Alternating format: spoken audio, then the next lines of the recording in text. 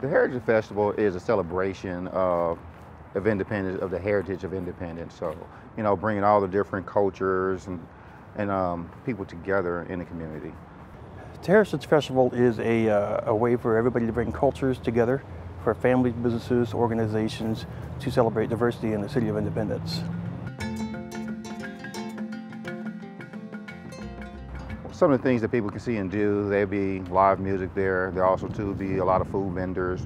We're gonna have um, some um, some of the independents, special like food vendors that'll be there, um, serving up drinks and different types of um, different types of meals and things.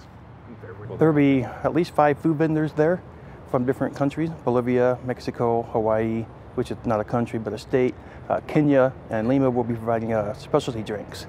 Uh, there will also be music on the stage for everybody to showcase their talents from their different cultures.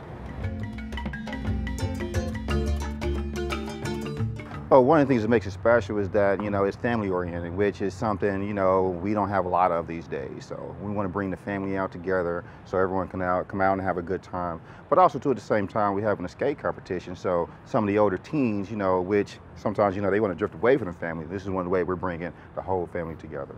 There we go. I think the openness for the community, everybody to get together and share different cultures, understand different diversities, and be together. Um, it's happening in Hill Park um, September 30th uh, from 11 to 6. Uh, there is a skateboard competition at noon as well, open to the entire public. And, um, you know, we want everyone to come out and enjoy themselves.